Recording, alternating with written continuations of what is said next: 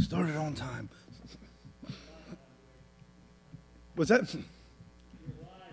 I am live. We'll find out, won't we?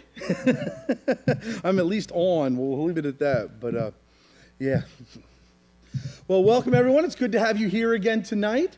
Does everybody remember what we just came from with Acts chapter 11? Ele- yeah, that was right. That was the number of the chapter. If you remember, Peter had a dream in chapter 10, and God showed him through this vision that all of a sudden God's gospel was for everyone. And Peter was to understand that. And so Peter had to explain his actions to the people in Jerusalem because they didn't really believe that God, or didn't really understand, let's say, that uh, see they want front row seats that's going to be another $20 for the better seats for them it's like a baseball game you just work your way up this way i can point be good all right and if you remember then the church of antioch came and barnabas came and they just wanted to make sure what was being done was of god and God used Peter to make that happen. And the gospel, it had been spreading wildly, and now it took on a whole new level because all of a sudden the Jewish people fully grasped that anyone could come into the kingdom of God. Amen? Anyone of any type, of any background, all were welcome into the kingdom of Jesus Christ. And so we're going to start here in Acts chapter 12. And so, Lord, we ask in your wonderful name that you will help us hear the truth that comes forth from Acts 12 that you want us to learn. Not just for our own head knowledge, God, but that it may sink deep into our spirits and that we may learn from what you have for us. In your name, amen. All right. So, this is the last chapter for a while that we're really going to hear a lot about Peter. This is the transition from Peter to Paul and what's going on. about 10 years, about a decade. Yep, just about a decade. Uh, there's not an exact time frame, but from what we understand of the time, uh, of that way the Herod went into rule and such, that uh, it was about a decade or so at this time, which I know it doesn't seem like a lot. A lot's happened in 10 years, hasn't it? So God was moving. It encourages us what can happen here in 10 years, huh? Amen? By 2030, man, we might own this whole street. Just kidding. All right, that's not our goal. So, let's see if anybody's watching. Candace, good to have you with us. Valerie, good to have you with us. All right. It was about the time that King Herod arrested some who belonged to the church. Now, this is really important. Really, but interestingly important. Do you remember back who the king was when Jesus was born and he tried to, or he took a bunch of the infants and had them killed because he was quite frankly jealously pridefully crazy. Herod. Was that the same person as this Herod? No. This will be interesting to you. Herod was a name used for a family, much like there were many Caesars, but one Caesar.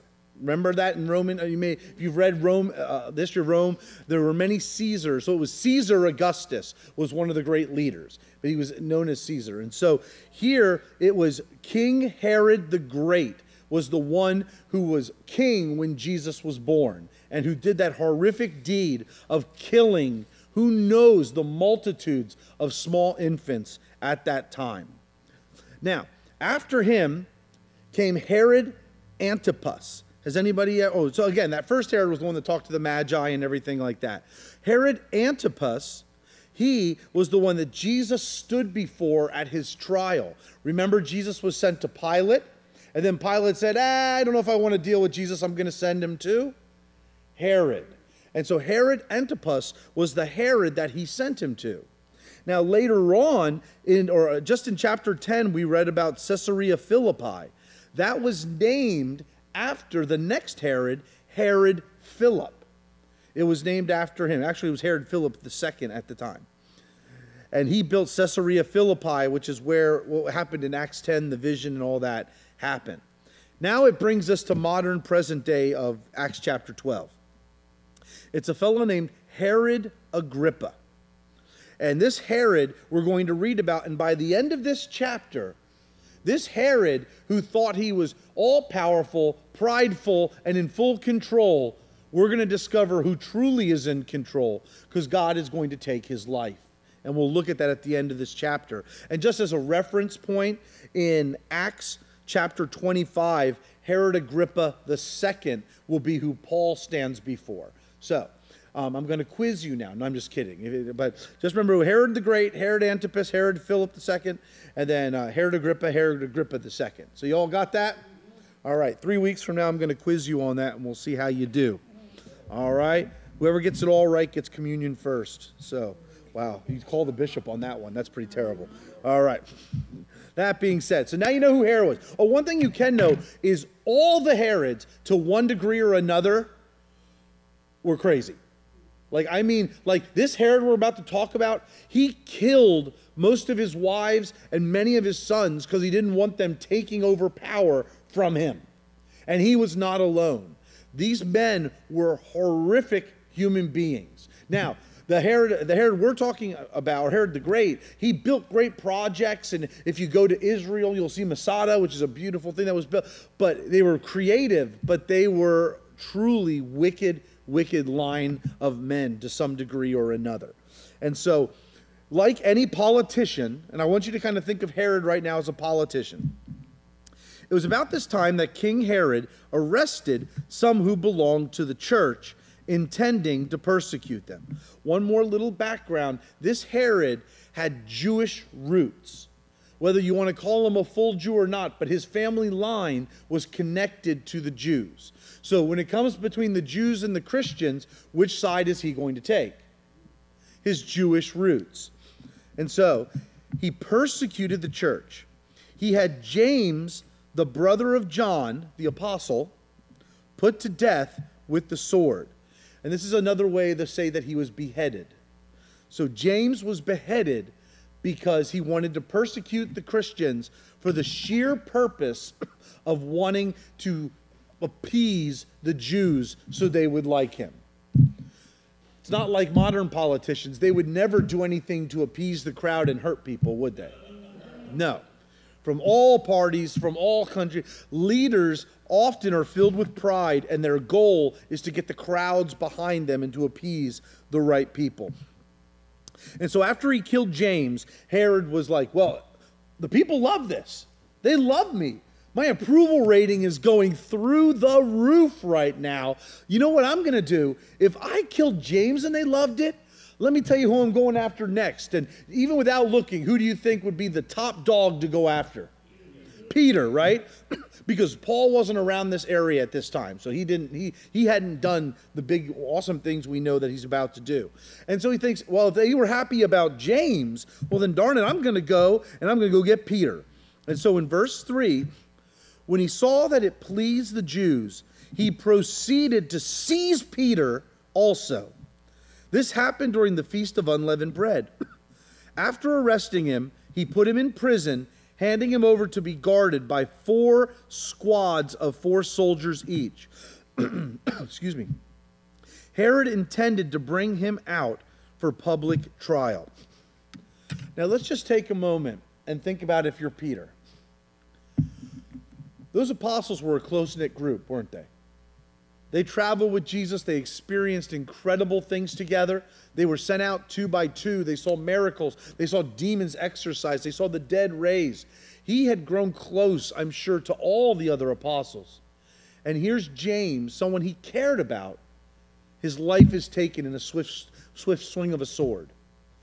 What is Peter thinking right now being chained. Now, chain doesn't mean handcuffs. It probably was about a six foot chain or something on each arm that he was chained to both people, to both soldiers uh, right next to him.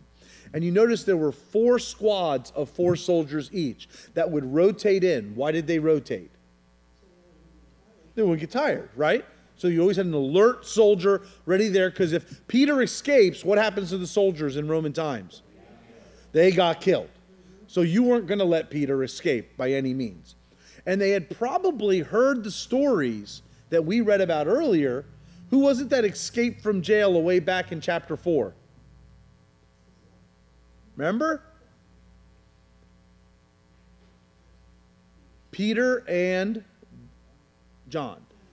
They they had been set free from jail. And so my guess is the reason there was such a strong guard watching over them is because these stories were circulating how they had gotten out of jail miraculously. And so here he is guarded. What are you thinking if you're Peter? Right?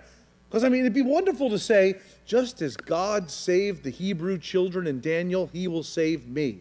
But that's hard to pray when your close confidant and friend just got beheaded by the same person and the same group of people, right? So, how could Peter know what's going to happen? Do you think he thought he was going to die? That was a trick question. He knew he was not going to die. And I will give $10 to anybody who can tell me why that's the case. It'll be Valerie's $10, but I'll still give you that $10. No? Well, faith is part of it. Yeah, faith's part of it. Let me share with you a scripture back from John 21 back when Peter, remember when Peter and Jesus had that conversation where Jesus restored him and he said, How much do you love me, Peter? And uh, um, I love you, and it would then do this, and so forth. There was that interaction. Well, after he said, Feed my lambs, care for my sheep, after that, Jesus says this to Peter I tell you the truth, Peter. When you were younger, you dressed yourself and went where you wanted. But when you are old, you will stretch out your hands, and someone else will dress you and lead you to where you do not want to go. Jesus said this to identify the kind of death by which Peter would glorify God. And he said, Follow me. Peter has not grown old yet. Is he a little older? Yes, but he is not old by Jewish standards at this point. And if Jesus tells you you're not going to die until you're old. You can count on dying when? When you're old. Does any power on earth have the ability to stop the words of Jesus Christ spoken over you? No. And so while he may have questioned a bit, I would just simply make the argument, though certainly I wasn't there, but I would make the argument that I believe Peter, in faith in the words of what Christ said, knew that this was not going to be his time to die. Now, he may have thought he was going to be beaten and battered and almost to the point of death, but he knew he still had a work to do for God. Now, after what's that? He had a fearless faith. That's why your word faith was right, but it was faith in the words that Jesus spoke to him. Now, let me ask you, why would God allow James to be killed and not Peter?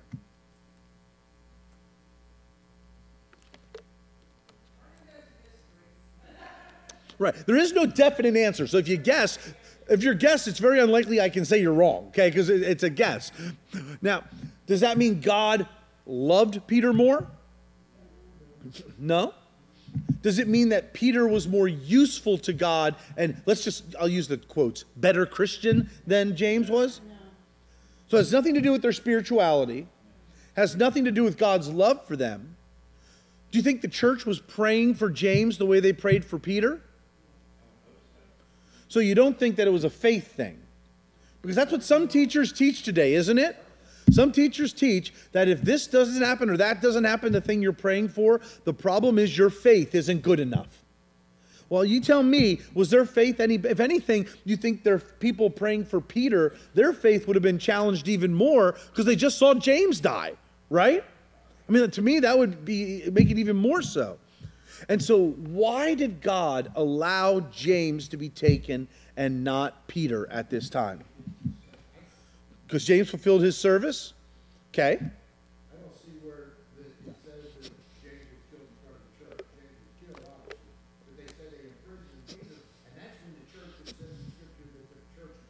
Right. I just uh, I come with the assumption that they knew James had been taken because he was a leader, and that they were probably praying for him also.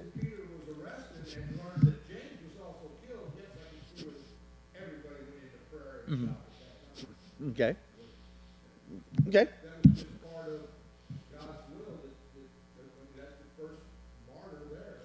Okay. So God's will's part of it. You got something?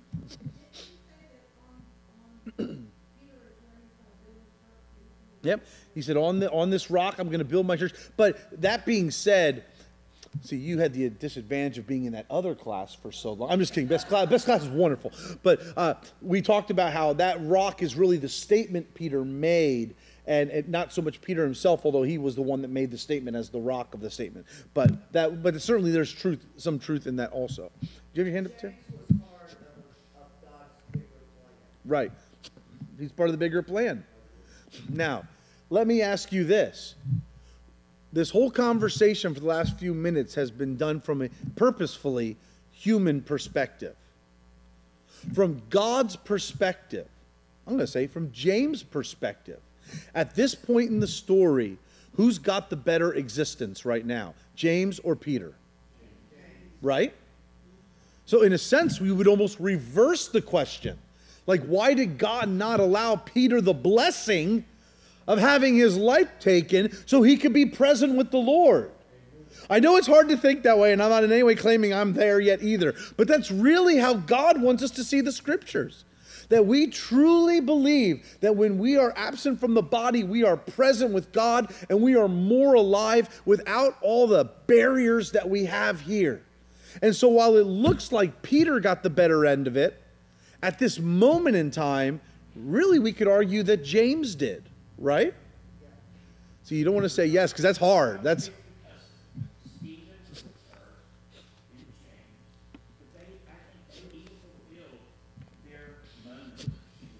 Yes. Yeah.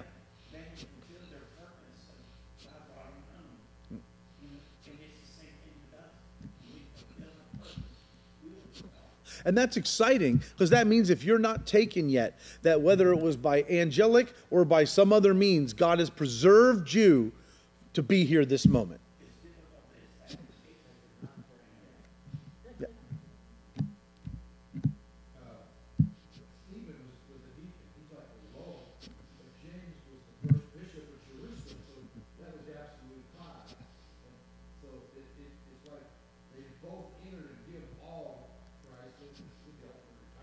Yeah, you got the first deacon, the first bishop. Congratulations, they're going to kill you. Glad I'm not the first priest here at Christ Church. No.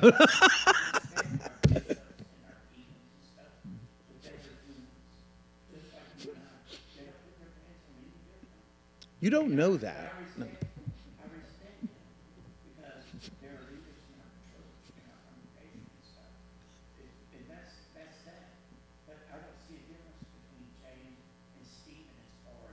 No. And you two are just coming at it from, you're both right and you're both coming from it from different perspectives. But, but you're both actually completely accurate in what you're saying, in that there's something to be said that God took the first deacon and he took the first bishop. But they're a type or a symbol for us as believers of our lives being lived to the fullest until God decides to take us.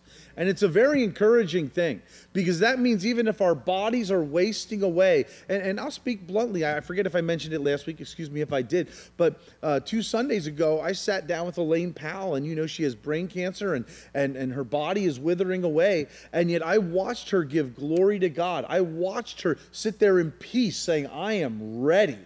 She wasn't ready for the process of it, but she was ready. She's ready. And there's something about to our last breath giving a testimony that we are here for God. And that's what uh, James did, what Stephen did, and what Peter is given the opportunity to do for much longer in his life than James. And so we are here, and I just wanted to help us think of that a little differently that it's actually the promotion that we get into the presence of God, and then kind of leave everyone else to, to work through it, work it out down here. So, yes, that's right, Candace. Uh, heaven is the finish line. That's right. And we just keep praying health for you and your whole family as you get through this stuff, folks. All right. So we'll move on to verse 5. Any other questions on any of that before we move on? I know we covered like three different major topics in one short time, but we good? Okay. So Peter was kept in prison, but the church was earnestly praying to God for him. I'm sure they were.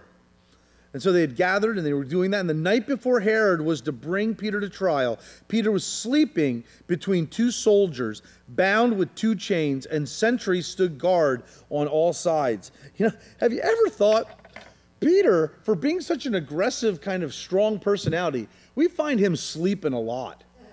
You know, in the Garden of Gethsemane, Jesus says, Wait with me and pray. What's Peter doing?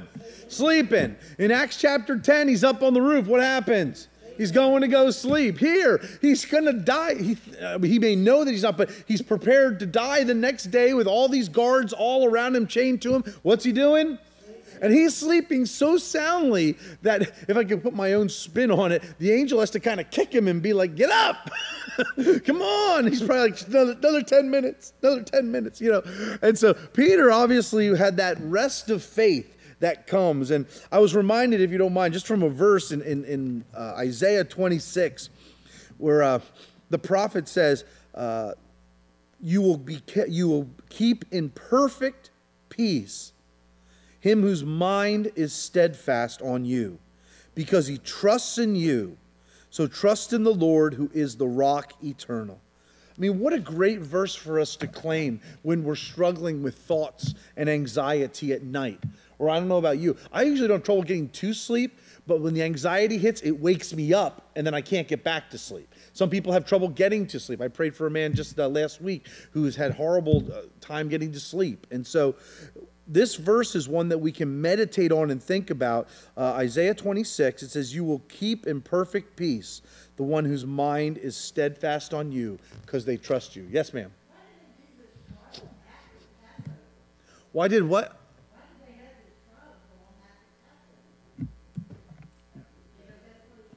Oh, yes, because there was a certain time frame when it was inappropriate to have trials. And that's why, if you remember, Jesus' trial was an illegal trial because it happened during the Passover. And so, but here they're waiting till after it to honor that tradition.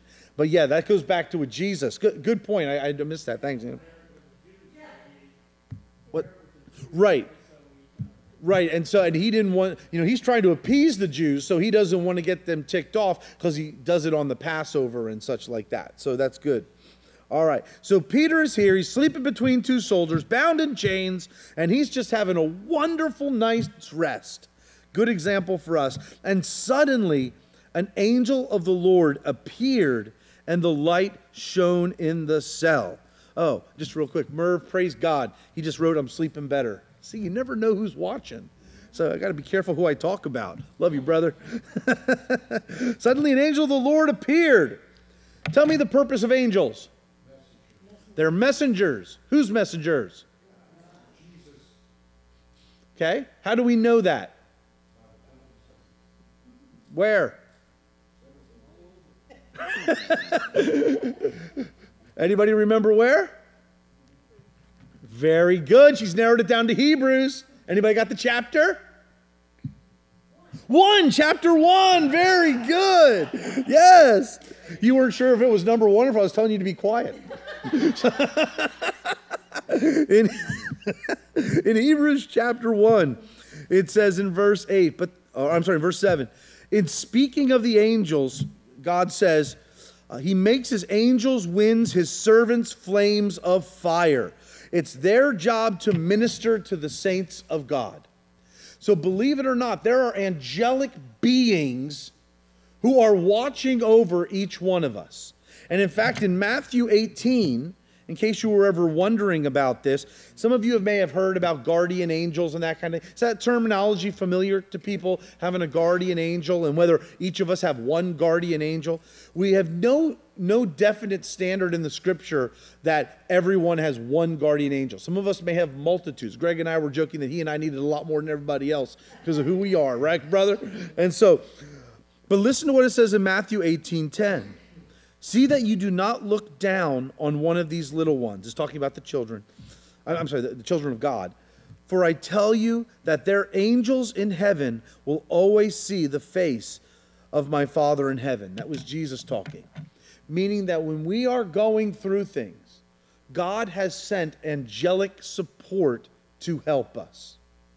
And when we pray for things, God often responds by releasing his messenger angels to minister in those situations. In fact, I'm going to just give you what's called a tease that this Sunday, Terry and Greg are going to share something about that in your testimony, right? Not putting any pressure on you, but you said you were, so now I said it in front of the whole world, so you're going to have to.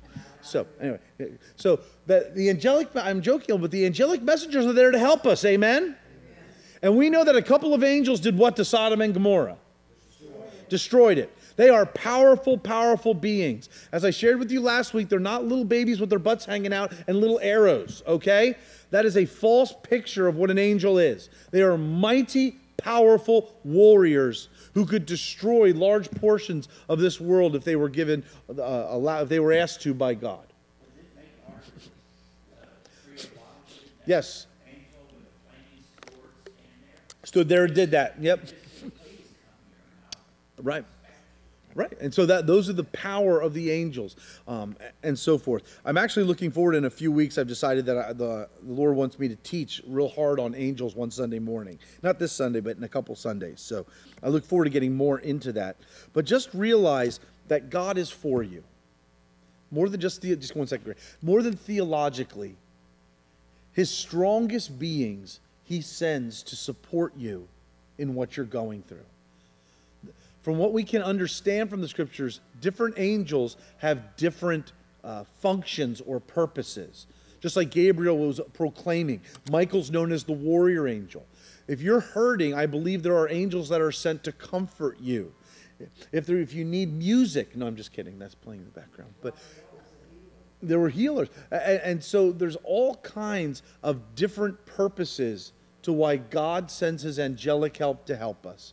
And so I just want to encourage you that way because the understanding of angels has been so muddied in our modern, really for, for hundreds of years, about their true purpose. And so we don't worship them, right? Every time someone worships an angel in the Bible, they're told they're being foolish, right? Get up, get up, get up. You know, don't do that. We're not there to worship. They are there to serve us, uh, to help us serve our Lord in the way we live and that should encourage us. I will say, I don't think there's anything wrong with saying, Lord, in my great despair right now, can you send comforting angels? God, can you release your angels of ministry to my friend who's hurting? Uh, it's still God's decision whether to do it, but I don't, you're uh, there. Do you see how you're not praying to the angels with that, though? Everybody get that? You're praying to the one true God to ask Him to release angels, okay? Certainly, certainly, yes, yeah.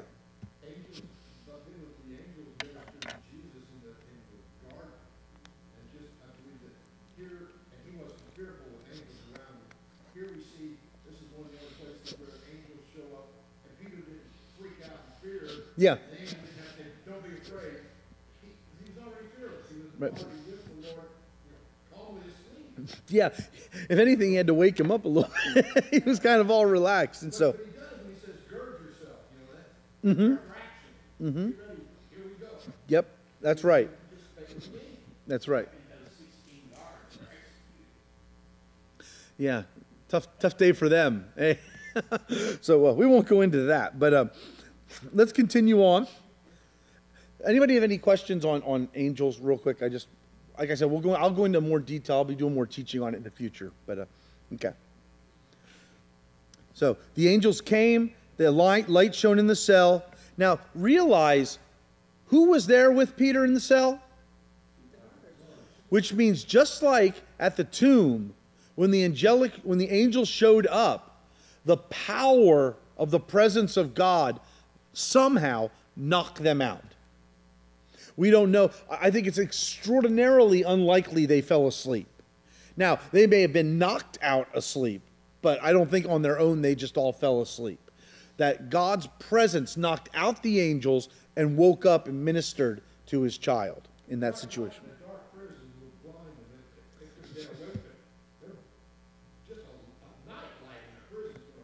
That's true. That's true. And so that powerful, but along with the light is the presence. And the, to me, the presence is even more powerful than the light, but you're right, the light is powerful too. And let's be honest, when Jesus showed up to, to Saul on the road, we saw what it did to him. And as far as we know, that was in the daytime. So, yep, that was how straight, okay. So get up, he said, and the chains fell off Peter's wrists. And this is kind of the fun part.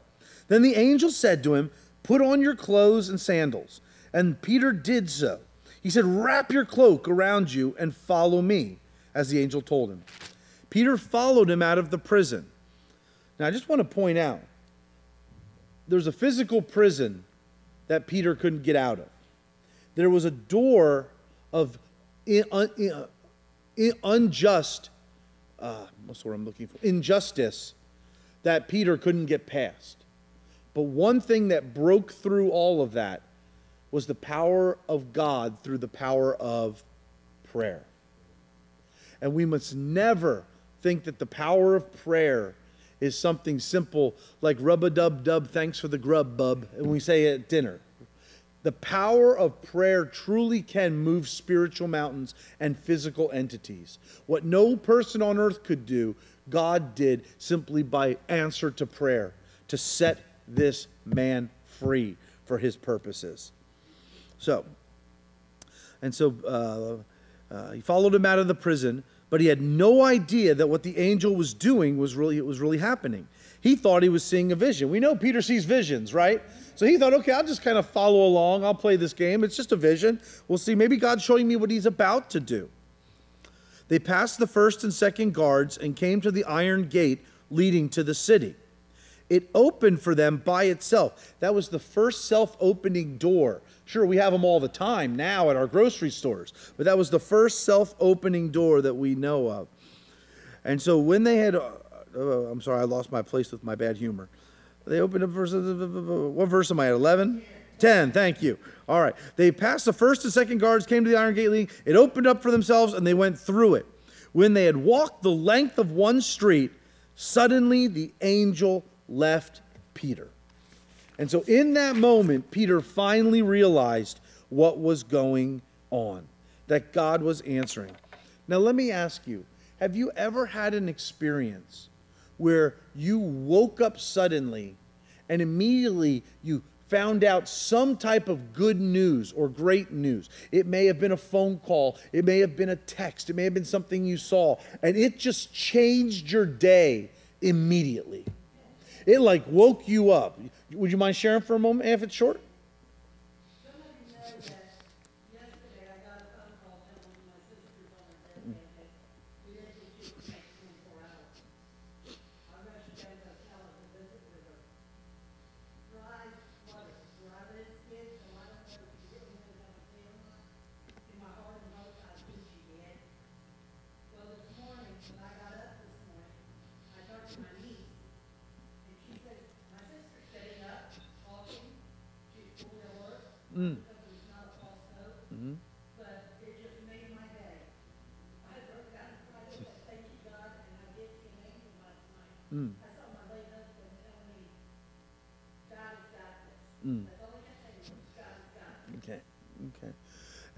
Thank you for sharing. Absolutely. That God's presence was there. I can tell you, as someone who's done ministry with many people who are dying, sometimes it can be a very holy place. I'll just, I'll just leave it. It can be a very holy place. Any, Anybody else? It doesn't have to be as traumatic and deep as that, but does anybody have any other circumstances where they woke up, found something out, and they were just up and ready to go?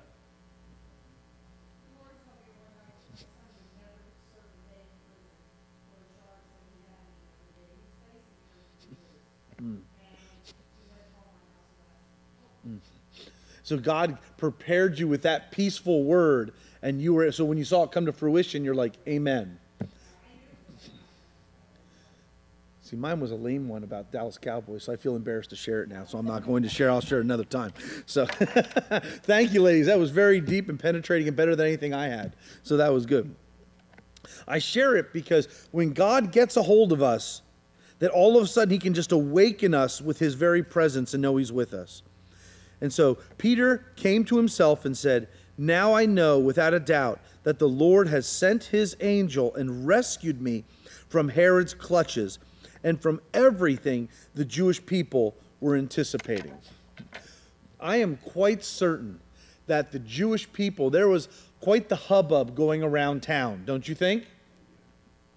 If you knew that he had killed James and now he's got Peter and he's planning to kill Peter today, I mean, there was probably some serious excitement going up saying, About time, that guy deserves it. This is going to be a good day.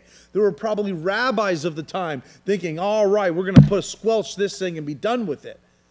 Not knowing that God was not finished with Peter in this circumstance. And so, what no one could do for him, God did.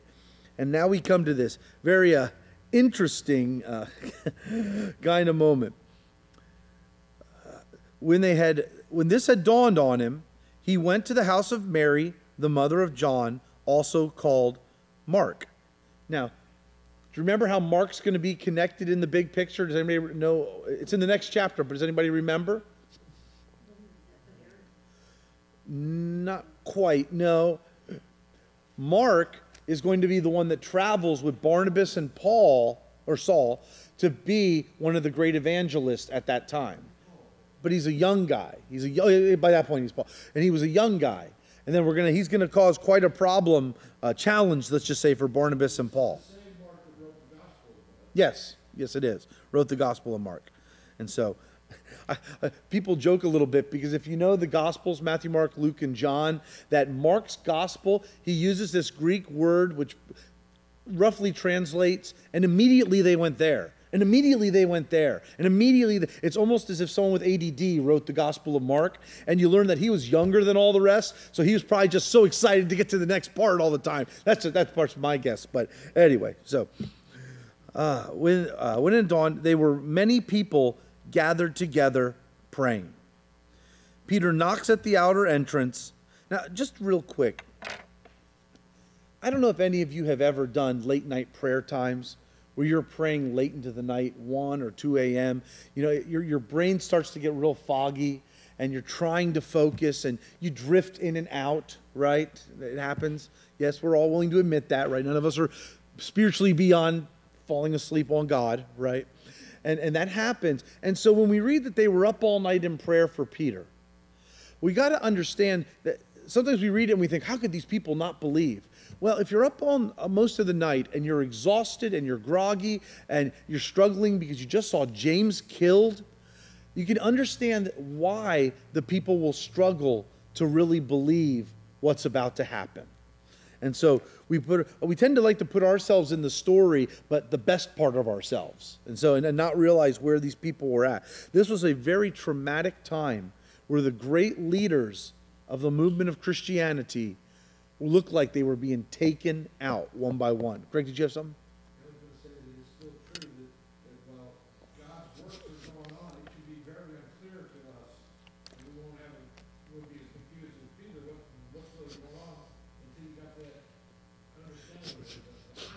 Yeah, yep.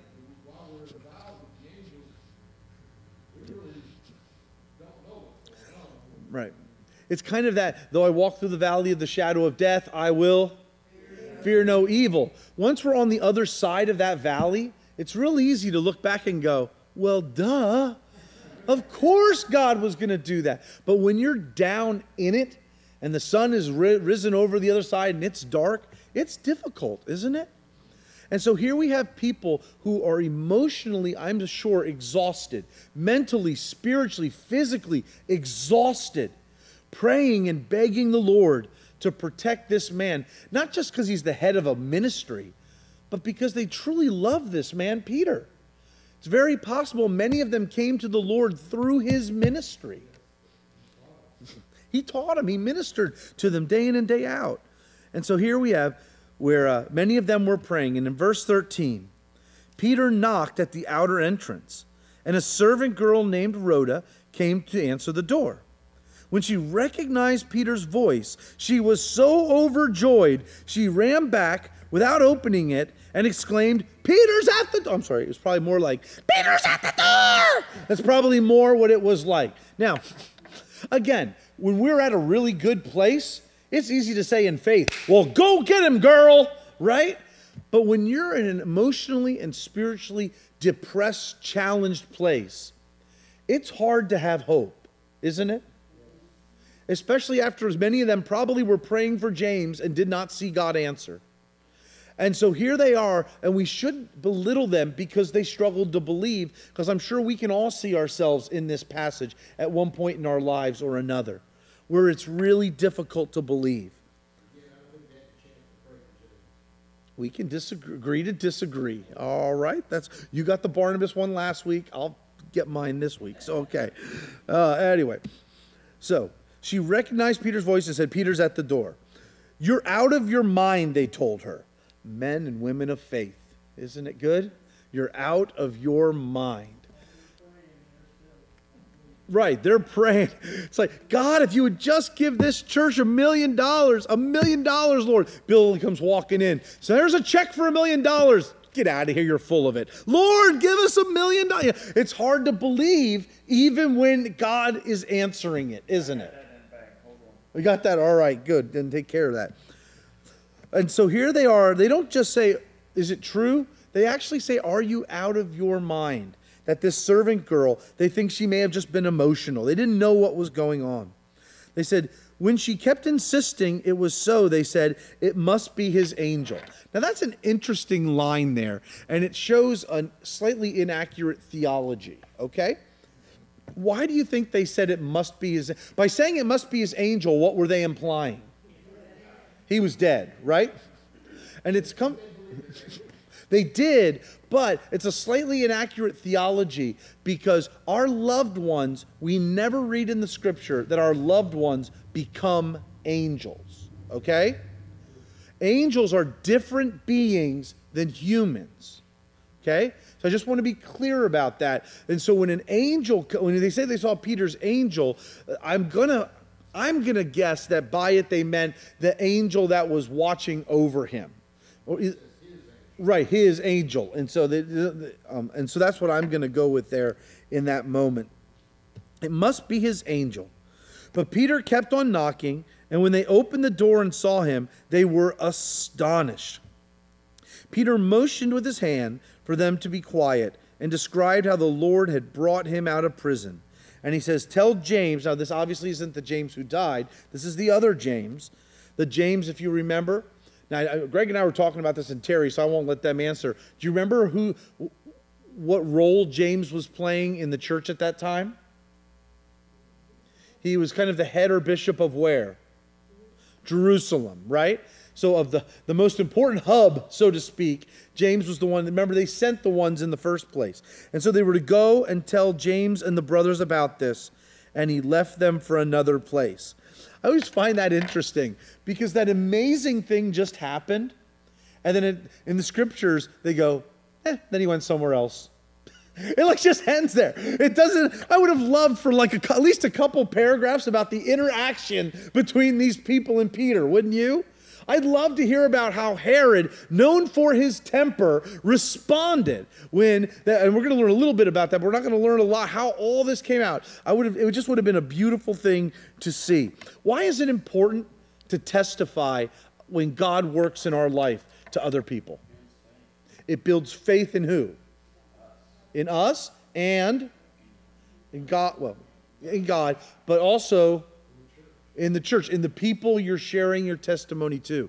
Do you know in the scriptures actually says uh, to testify, or this, I'm, I'm not going to quite get it right, but it's like uh, a testimony is the spirit of prophecy. Meaning that when uh, something, God does something in my life and I share about it. Testimony just means to declare something that God did for you. If I declare it, it has the ability prophetically to build faith in you. And when you share a story with me of how God moved in your life, it has the ability to build faith in me and why it's so important and something I'd love to see more of in our church. Uh, lots of people share things, but I'd love to see people up front sharing the testimonies of God so that we can build faith in one another. There's something that is transmitted spiritually. I wouldn't even try to explain what it looks like or how it works. But when you and I share what God has done, something goes forth. There's a seed that is planted in that person, whether they realize it or not. And that's why sometimes when you share the gospel or you simply tell someone what Jesus did for you, they may laugh at you, they can walk away, they can say, That's nice, that's not for me. But there is now a seed residing in them that they can't get rid of. Now they can ignore it, but there's something that has been planted by God through you and I speaking out the truth of what He's done in our life. So, okay. Please.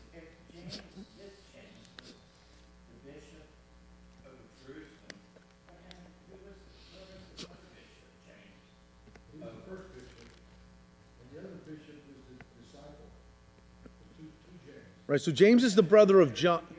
Right. we assume he was a disciple. I, we may have, we may, I, you know, now that I think about it, we may have used the wrong term for the wrong person, Akos. But yeah, so he was simply a disciple who was a leader in that community where, where uh, James, uh, and the James, I'm sorry, what was that? Uh, the disciple James who was martyred was in Caesarea, whereas the other one was dwelled in Jerusalem as the head of the church. Yeah. Uh, yes. And so, and, and the one that uh, led the church in Jerusalem was the one who wrote the book of Leviticus. No, I'm just kidding, James. It was James. Just making sure you're still with me. I feel like I'm losing you a little bit, trying to keep you on your toes. I'm trying to make, I only have a few more minutes, and it'll be the first time Jim has not talked and asked a good question during Bible study. I don't know what's going on back there. He must be tired. I don't know. Maybe the angels are ministering to him, and he's just getting better than getting more than we are right now. So, if that's the case, I'll come hang out with you, brother. So, all right. In the morning, there was no small commotion. Don't you love that? No small commotion was going on. I'm sure it was chaos. Can't you imagine? The Jews are ticked. The Christians and Christian Jews are thrilled. Herod's erupting, and the soldiers are talking in panic for their life. I mean, it was no small commotion among the soldiers as to what had become of Peter. Could you imagine being that soldier waking up, looking at the guy to your left or right? You're still chained, but the guy in the middle's gone. What a horrific moment that must have been for those guards. Yeah, someone was waiting for that. And so in 19, and Herod had, after Herod had thoroughly search made for him, he did not find him. Now you notice God's hand in this.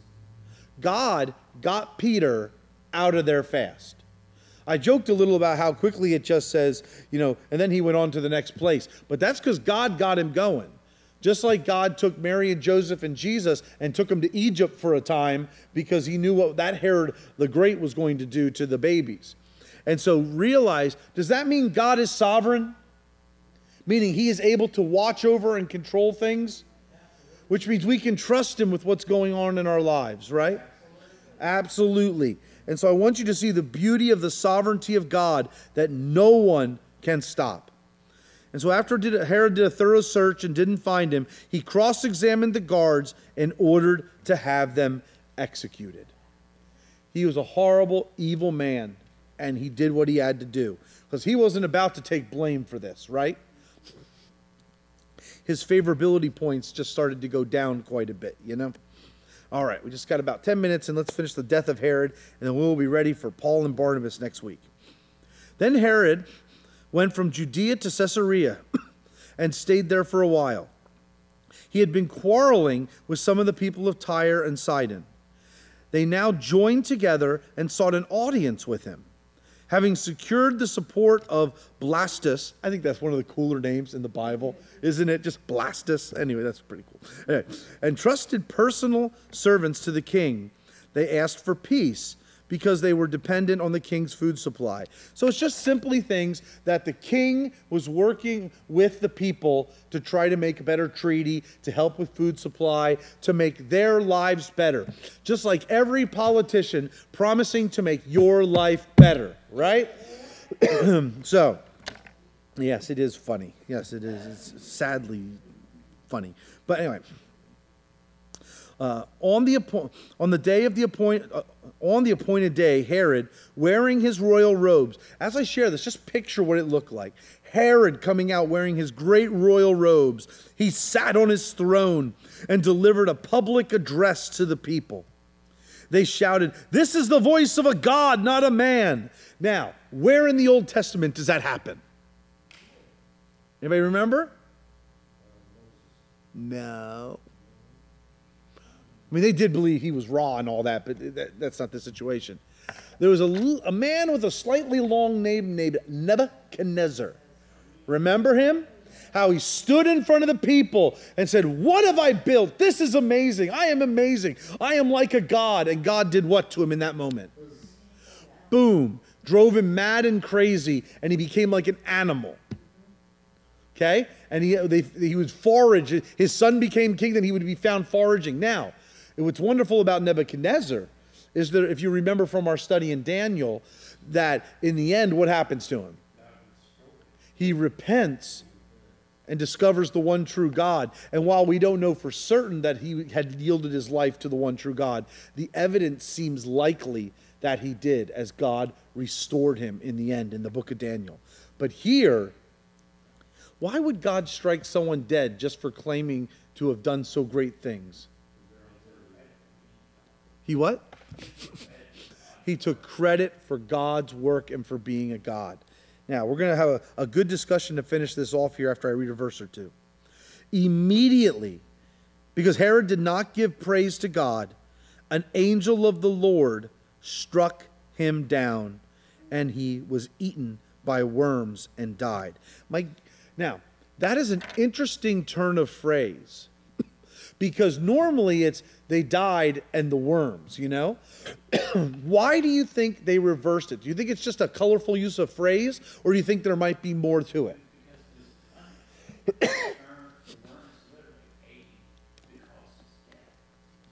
That's that is the more likely uh, understanding from scholars is that there's and, and, and please forgive me because I didn't write down all this information because I didn't actually think we'd get like we discussed this. But there is some type of tapeworm in this part of the country that can actually truly devour you from the inside out, causing you to bloat and you can't stop it, and it causes like your entrails to run out. It's a tapeworm we don't have here, but it's in that part of the world at that time. And so many people believe that because he did not honor God, that immediately God struck him with this disease. It's a disease that is found often in cattle and other type of livestock, which was obviously what they ate and what they, they raised and everything else. And because of that, that disease ate through his whole body and killed him. Now, my question for you is why did God choose to, first of all, let Nebuchadnezzar still live when he called out that he was a god? Why did he kill Herod for claiming to be a god? And why does he not kill leaders today? And I'm not just saying in America, I mean anywhere in the world, dictators, whoever. Why does he not kill leaders today who claim to be like godlike?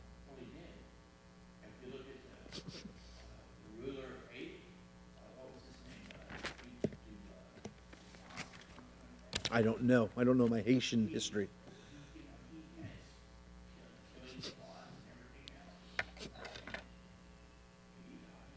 Okay. Okay. So, why does God not do that to every leader or dictator or politician that dares to usurp God's power and think that they're greater than anyone else?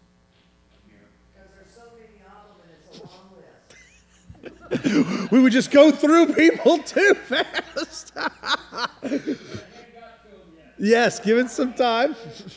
That's one option that we would have no leaders anywhere. Then what do you do? Right?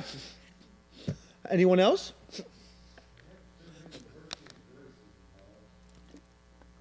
I think in some cases it is. Certainly in Nebuchadnezzar's it was. God, in his sovereignty, remember when I drew out that line on stage, that he knew in his sovereignty Nebuchadnezzar would repent. And so God was loving and long suffering for the sake of the repentance so that he could be connected to them. So that answer is correct at least some of the time. Has to be from that scripture reference. The what? Yeah, yeah. And most of their wives.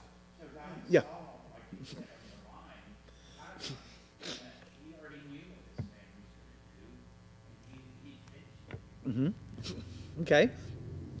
Well.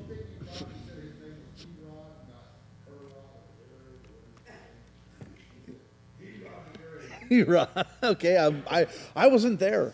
I don't have the audio recording. I'll have to find it. so, let, let me help you get where I'm, where I'm going. It's the exact opposite of what we discussed earlier. James and Peter.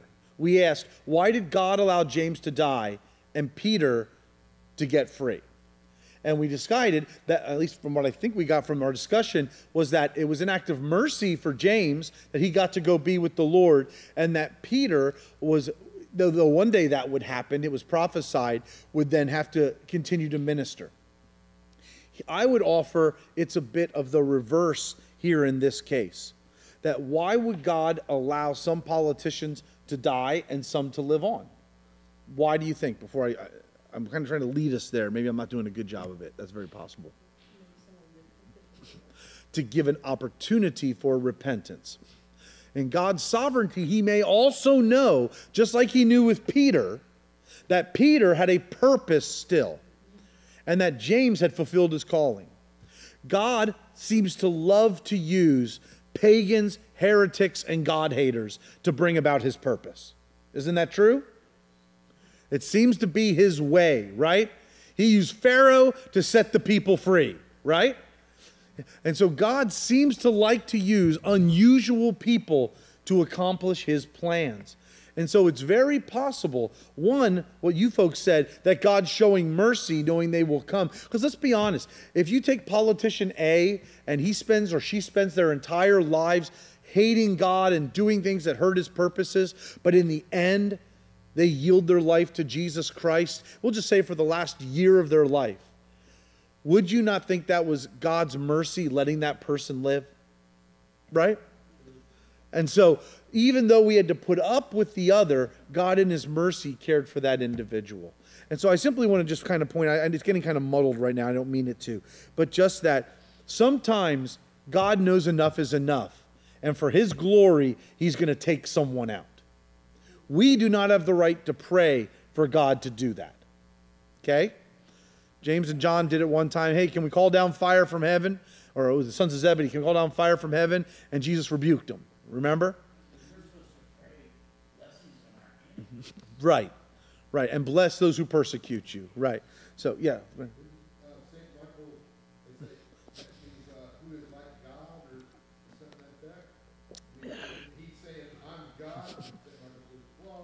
Yeah, I, I, I, think you're right, but I, I don't want to say for sure. But without question, he sent the warrior angel to say, done, right?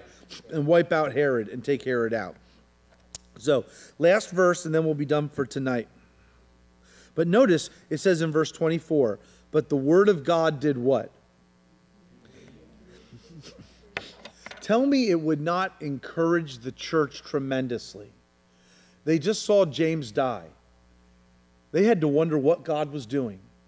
Peter was supposed to die. God sends an angel, saves Peter, not long after, takes out Herod in front of everybody. That's going to build your faith, isn't it? that the very one who thought he was in control found out in the end he had no control at all. And I kind of chuckle when I think he couldn't even control his bowels because a tapeworm was just eating right through him. And so I probably shouldn't laugh about that. Right.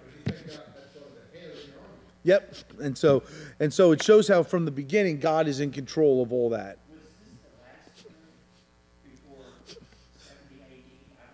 Now, there is one more Herod mentioned in the Bible. I haven't studied historically past the scriptures, so I don't know. But the last Herod will be mentioned uh, Herod Agrippa II in Acts 25. Paul will come before him. Um, after that, I've not studied out the Herods enough to have a, a right answer for you. I have it. In, I know where I have it in my book, but you might be right. Yeah, you might be right. So I, I didn't bring that book over with me, and so uh, yeah. All right when Barnabas and Saul, isn't it funny how they just flipped it right there? You notice that?